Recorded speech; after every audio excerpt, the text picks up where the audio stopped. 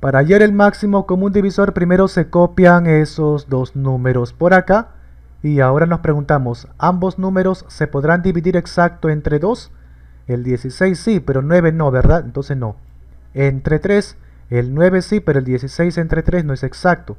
Tampoco se pueden entre 5, ni entre 7, ni entre 11. Y ahí nos detenemos. Solo hasta ahí se prueba porque solo se prueba hasta el menor de ellos, o sea, hasta el 9 o aproximado. Por eso probamos hasta el 11 y como no funcionó, queda ahí.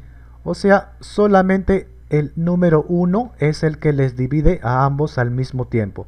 En estos casos va aquí 1. Y el resultado siempre lo que quedó por acá, o sea 1. Y listo.